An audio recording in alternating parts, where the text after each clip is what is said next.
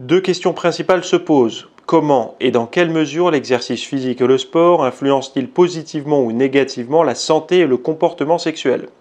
Et comment le comportement sexuel peut-il affecter une performance sportive ultérieure? Donc l'exercice physique et le sport peuvent influencer de manière positive ou négative la fonction euh, de l'axe hypothalamo-hypophyso-testiculaire et par conséquent la santé reproductive et ou sexuelle de l'individu. Si elles sont bien menées, les activités motrices et sportives pourraient avoir des effets bénéfiques sur la santé sexuelle des hommes. Cependant, le sport de compétition peut entraîner des dommages et dysfonctionnements temporaires ou permanents du tractus reproducteur et ou sexuel.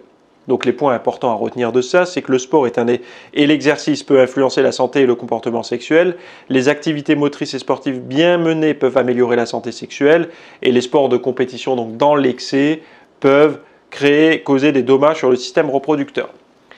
Donc, si vous êtes un individu honnête, vous essayez de partager l'intégralité des données. C'est-à-dire que bon, vous, moi, on essaye de faire du sport de manière, j'ai envie de dire, amateur plus plus, mais ça reste de, manière récréative, de loisir, euh, mode de vie, on va dire, pour la santé, la forme, l'esthétique, parce qu'on aime ça, mais on ne fait pas de compétition. Il y a peut-être des gens parmi vous qui préparent des compétitions en, bodybuilding et, euh, bikini actuellement. Je sais qu'il y en a dans l'absolu, mais actuellement, il y en a peut-être qui sont en train de se préparer. Euh, c'est dès qu'on va rentrer dans des disciplines extrême de compétition. Donc ça veut dire quoi? Ça veut dire forte charge de travail soumise ben, à, un régime drastique pour essayer de perdre le maximum de graisse, etc. Pour certains, des produits dopants.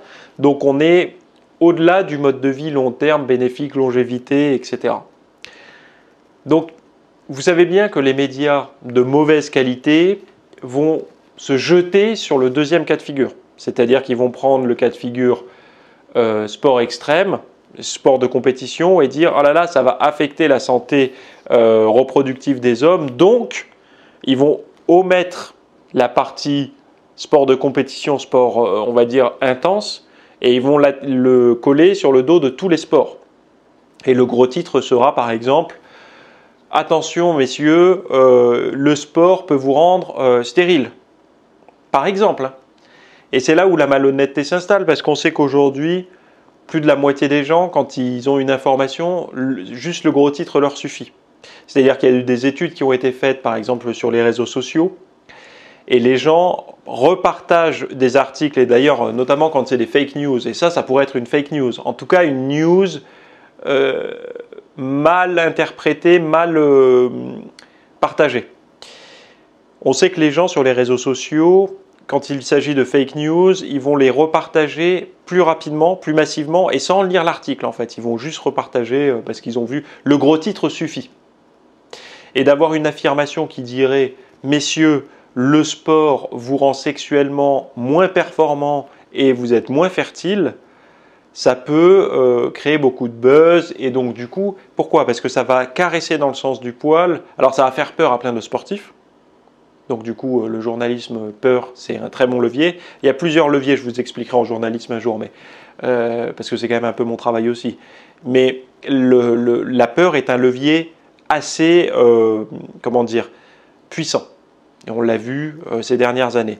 Deuxième levier, c'est de caresser dans le sens du poil un individu, lui dire qu'il n'a pas besoin de faire du sport, puisque finalement le sport, ça pourrait lui causer des problèmes. Donc il y a une forme de, de, comment dire, j'ai envie de dire, de caresser dans le sens du poil certains lecteurs et d'effrayer d'autres. Donc finalement, vous arrivez à avoir tout le monde qui lit votre article. C'est ça en fait qui est intéressant. Pour eux. Parce qu'après la réalité, c'est que malheureusement... Merci d'avoir écouté ce rapide extrait. Alors, dans la version longue, on va parler du dadbot, du corps de papa. On va voir si c'est réaliste. On va parler également euh, de ce que les femmes préfèrent chez les hommes en termes de musculature, de corps et tout. Mais je vais passer un bon bout de temps quand même sur le, dadbot, donc le ventre de papa, qui est soi-disant euh, apprécié à fond par la majeure partie des, femmes. Et vous allez voir que je vais pas me faire que des amis malheureusement, mais euh, c'était important d'en parler, d'en faire une analyse euh, assez euh, poussée du sujet.